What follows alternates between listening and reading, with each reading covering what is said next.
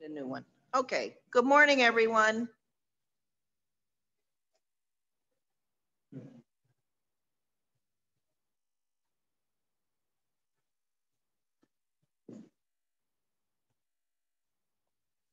Do you see me or no? There we are. Admit, admit. Why? Oh, did.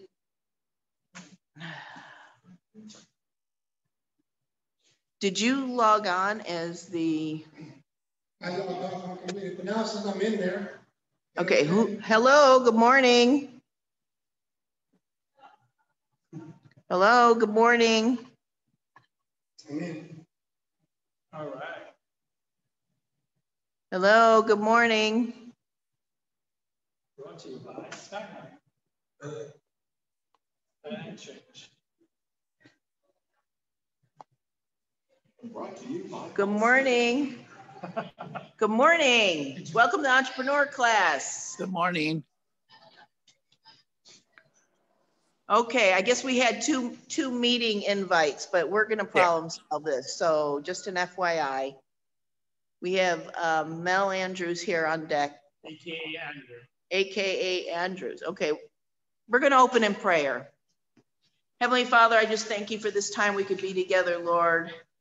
Our Entrepreneur for Christ class is, is in your honor. And I thank you that we get to join together here in, in one accord, Lord, as we learn more about business in our wonderful country, USA, Lord. I pray that you bless each one of us that are attending and help us, Lord, as we move forward in our progress. In Jesus' name we pray. Amen. Amen.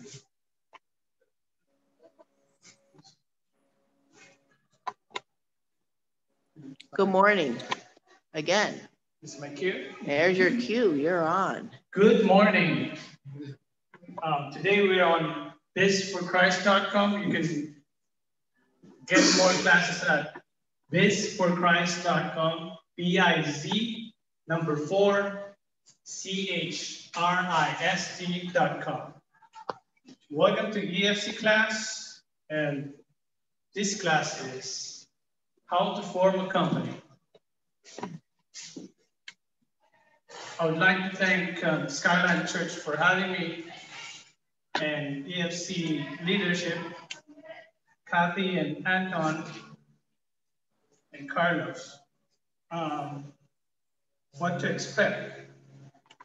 The program is supposed to be 15 minutes class and 15 minutes um, connecting to other entrepreneurs about their businesses and how to help each other. And this is an intro class.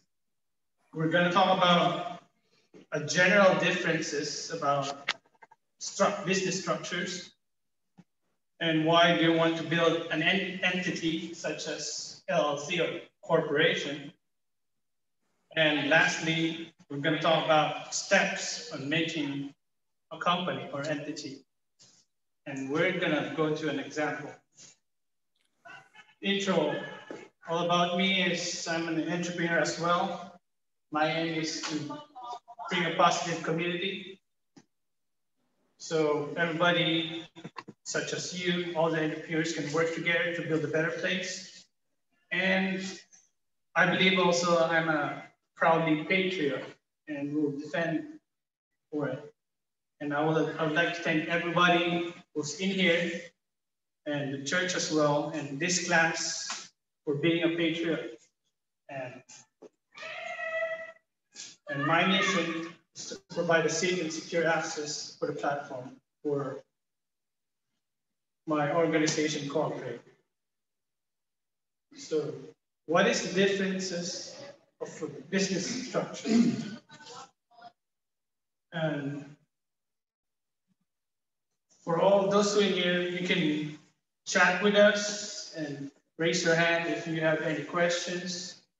I want this class to be an interactive class, given, given of the numbers, and openly say what you want to say, just raising your hands or in the chat, and sharing your input to help us grow and to help me and help us together learn about businesses.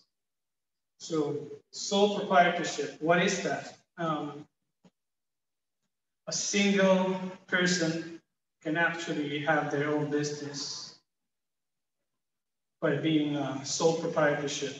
It means that you're alone.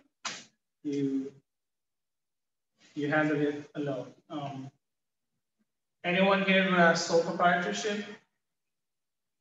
Um, so what is the best um, the best thing about sole proprietorship? Well, theoretically, the person has total control, doesn't answer to anybody else. And that's good, and that's bad. So you have sole liability, you're it. Exactly. And what if I decided to brought another uh, person? Then you have a partnership, Then they would have a partnership. you know, so. And of course, you've got to get along with your partner and make decisions jointly, and that has its own stressors. Because you can't do decisions unilaterally. What if I brought another person to a partnership? Is it called a partnership or a corporation? It's called a partnership, just have more partners.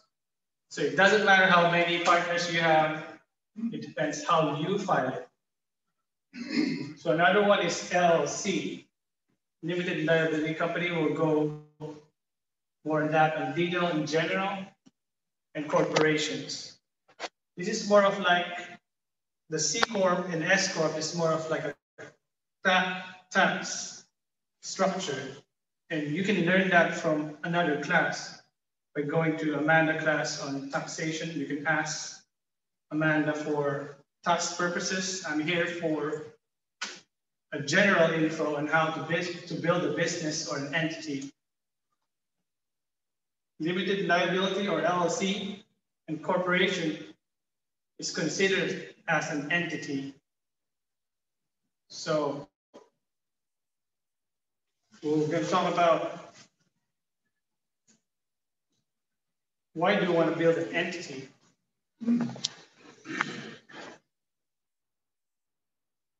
So first, based on rules and regulations, it will, it will be different on each state, and you must follow, always follow the federal laws. But, but based from my experience, do not take a word for it. You must research all the time. You must learn all the time, because laws are changing all the time. So I encourage all the listeners on this class and for other class, do your research, always do your research, ask questions. Yes, ma'am. Is there a certain amount of liability by law that you have to have this business? Is there a certain, Certain dollar amount for the liability that you have to have for the law business? That would be more of like a tax, tax question. But But it's can, insurance, right? insurance, correct. The minimum amount of that is, I think, covered is a million, minimum. yeah, for errors in omission. You, you can buy always insurance to protect your business, but it doesn't mean you need one, but you can always do that. But I, for one, don't um, sell insurance or promote insurance, but you'll have to do your own diligence as an entrepreneur, because being an entrepreneur is always to learn every day, adapt to the situation, and focus on your goal, no matter how many bumps you have. Yes, sir. So if I join a franchise, I'm joining a corporation already. Correct? It depends on the contract. You, you, if you read the contracts, it will all depend on what they say and what you agree with. Well, what about family-owned business? Family-owned business, usually it's a partnership or an LLC. Right? Thank. It always depends on the contract. They always put us so many pages of contracts. And I don't believe in that. I believe in straight um, business deals with no um, no words, so many words that you jargon words that you don't know of. I believe in straightforward contract and straightforward answers. But they do that just because you have a loophole on it. Based on my experience, the more pages or the more complicated stuff that contract have, it's the more loophole that have uh, have it. I, I took a communications class, uh, maybe three months ago. And one of the things that they said was Google has a fifteen hundred and thirty-seven word contract that you're supposed to read through when you read. Fifteen hundred. Yeah. What about, okay, now, if, okay, answered, I was just gonna say, the best place to get my license is the vice administration? My business? Business license depends on what field. For example, if you want to become a barber, you want to do a barber's license, right? So it all depends on what area you want to go to, but it doesn't mean that you form an entity by doing that. You will become a sole proprietorship without doing any paperwork. So all the structures that we mentioned, partnership, LLC, incorporation, there's a paper form to file into that. Where does that file get formed, form get filed? Usually it's on Secretary of State, whatever um, state you are. For example, if you are in Wyoming, you'll go to Wyoming um, Secretary of State and file an LLC or a corporation. But for a certain license, you are, well, for a certain license, you're already considered as sole proprietorship without filing an entity. Normally you get a DBA, so a DBA would actually make you a separate entity, so sole proprietorship. Normally you're not, doing- you're not practicing under your own name, you have like whatever, best coffee or, you know, uh, the, the best flowers or something. So you would register your doing business as within, in- within your county. Yeah, it's like a aliases. Exactly, Yeah. exactly, very well said. Fictitious name. Yeah. You, you can do it on the books, like authors do that all the time. They have a, a ghost name and their own real name. And artists do that also. They have their stage name and The real name? So you can always do a DBA for your sole proprietorship. So entity, it's treated as a different entity because it's a different, per se, a virtual person than you. So it requires, just like we said, it requires a separation of business and personal finances for some structures. You can, you can build a system into it because it's designed to be a system and a structure in the first place. You have, you can, you can do an asset protection on it and deductions. For the sake of this class, I'm just gonna focus more on the entity itself. I'm pretty sure there's disadvantages of it and advantage for partnership and sole proprietorship and different laws into it. But for these purposes, I'm gonna focus on entity. So it's very flexible. It can be transferable, AKA they call it perpetual duration, because when all shareholders die, they're just gonna replace it. The entity itself keeps going without the owners itself, the original owners itself. I don't know about DBAs when you die. Well, I mean, the, but the, it ceases to exist. So that it's not a, you haven't created a separate entity. By the way, uh, Melandrew is very knowledgeable in this area. So for example, you got sole proprietorship or, uh, or partnership. When the owner die, the business will die, but they can always transfer the customers and stuff. But it's not, technically, it's not the same anymore. But for the entity itself, it will be the same. It is the entity itself. So it's designed to be a perpetual duration. Yes, sir. Well, I mean, what he's saying is if you have a partnership and one partner dies, theoretically, the entity would continue on with the still living partners. And generally, if you have a partnership agreement, the, the living partners will buy out the, the dead party's equity if you have an agreement. If not, you may just literally lose that equity. Right. So that's why it's easy to set up and scale. And right now we have a new regulation. It's called, if you look it up, Regulation A plus under Security Exchange and Commission. It allows you to, to have a shareholders without being on the market, like the NASDAQ, pink sheets and stuff. So you can literally raise your money in exchange for your equity without going to the secondary market via regulation A plus. So that's gonna be a different class A plus. So EFC is just a brand new group and we're continuing to building it up. So once we build it up, we're, we're gonna talk about regulation A plus and other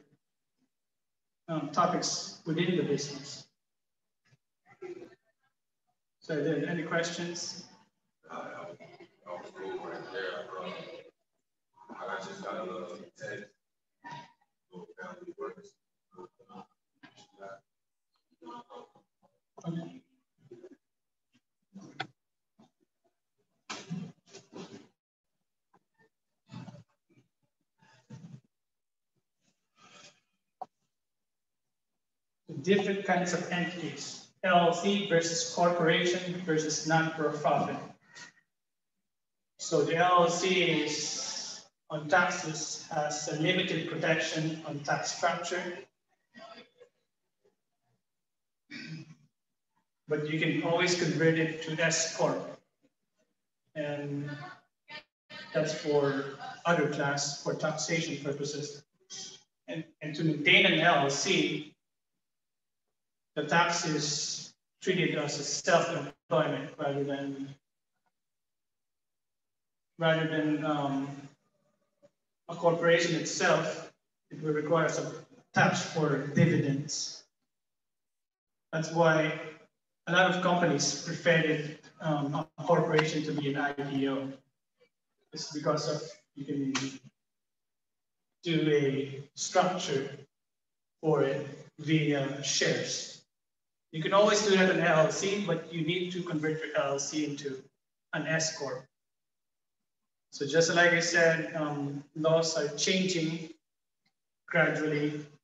They can always convert whatever structure you have into whatever current law right now. For corporation, of course, it, it maybe have a paperwork requirements in some states for non-for-profit um, is a tax exemption, so there's a lot of regulations and laws that you need to comply for that. So for maintaining a non-for-profit, you need an annual report. So going to the steps on making a company, Uh, I I made a three-step rule. Number one is choose a state you want to make. Number two, get a registered agent. Number three, go to the Secretary of State of website and file your business. So number one, again, number one, choose a state. Number two, register your agent.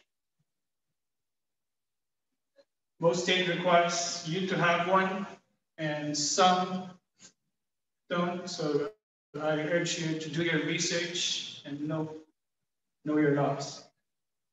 Now, B, create your corporation to their website or proceed to step three, which is go to a website that allows you to have a registered agent at the same time with filing taxes. I would rather choose that because it's a two-in-one deal. You don't, you don't have to go to another step, which is step three, go to the Secretary of State and file a business entity. And lastly, we're gonna form and register your new business. So I'm gonna do an example for it. This, this class is form how to form a new entity or business. For example, I choose state of Wyoming. I will search engine it, Wyoming registered agent. Then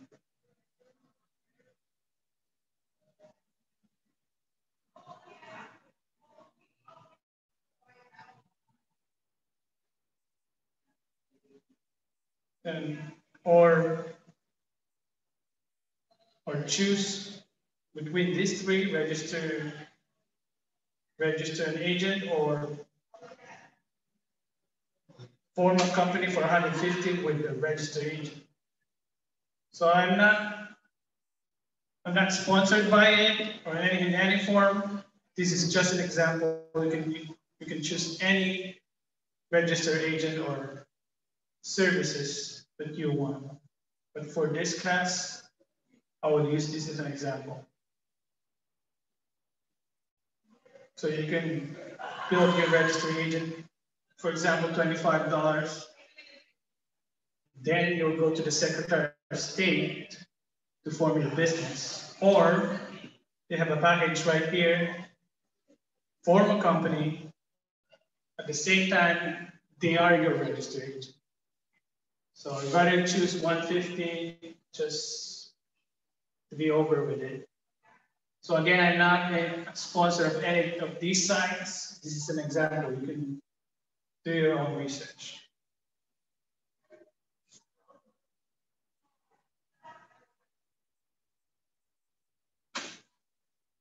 And after that, if you decide to um, do it in your own, get a registered agent, just like we, we saw earlier. Then go to the Secretary of State website. For this example, it's Wyoming Secretary of State.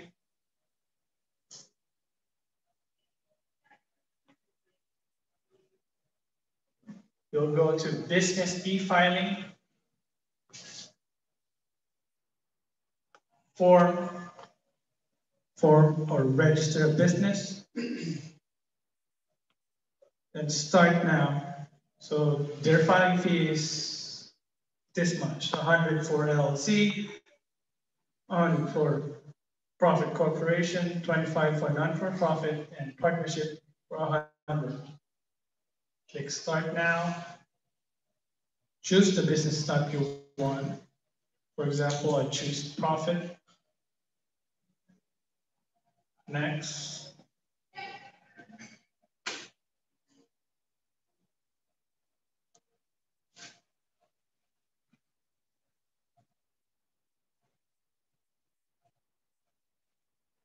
Click next. There you have it. And choose a name. Confirm the name and the last, the hardest thing that you will do is coming up a name. And that's it. It's, this concludes our class.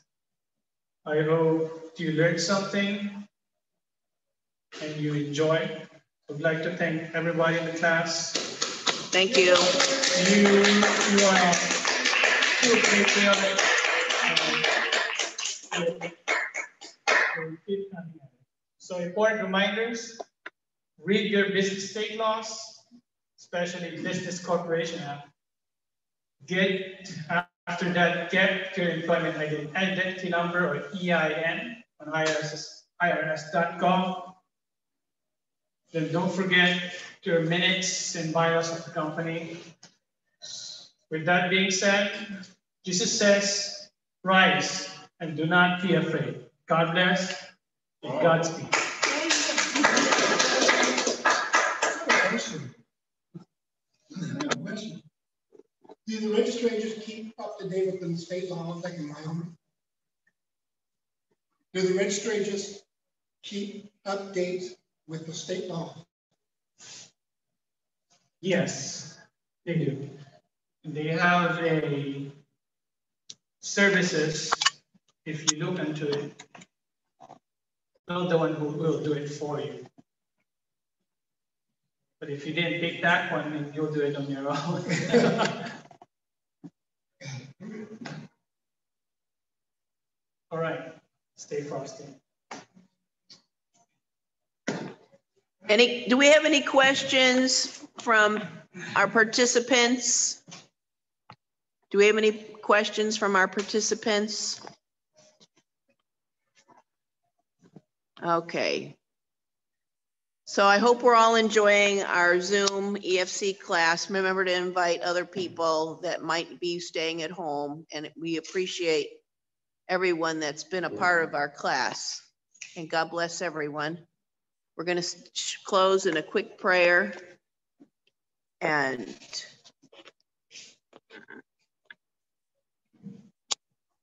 Heavenly Father, I just thank you for this time we could be together, Lord. Bless each one of us as we uh, go to our homes and families this evening, Lord. I just pray for our nation and those that couldn't be here today, Lord. And, and you know, um, we want miracles to occur in our nation and for our, eyes just to stay on you as we know that um, you are in control of each one of us and the leaders, Lord. And I just pray that we just become servants for you.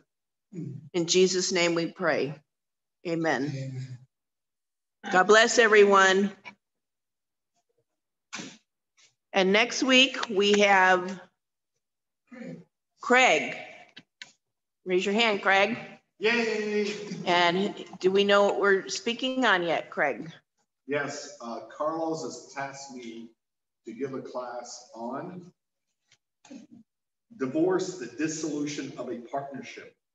How do you protect yourself in California? It's a very interesting topic, I have to tell you. Actually, very challenging. It's very interesting. And uh, I really uh, thank Carlos for actually coming up with the idea because it has a business aspect. Yes, When people get married, they're actually business partners yes, uh, contrary to public belief. So the, the world sees them as business partner in, in this, again, in the secular world. In the religious context, they're, they're one, but society views them as business partners. So how do you protect yourself? How do you maintain that partnership healthy? So that's very interesting. So anyways, I got to give credit to Carlos. At first, it was a, little bit of a stretch because I said, wow, boy, that's an idea. Um, what do you do? So thank you, thank you. We're looking forward to that. And God bless everyone. And always um, keep in touch on our website, bizforchrist.com, and register if you haven't already. And again, share share this with friends and family. Also, we have a new You- YouTube channel, and we hope to give that out to you next week so that anybody that hasn't seen this presentation, they can still participate. God bless everyone.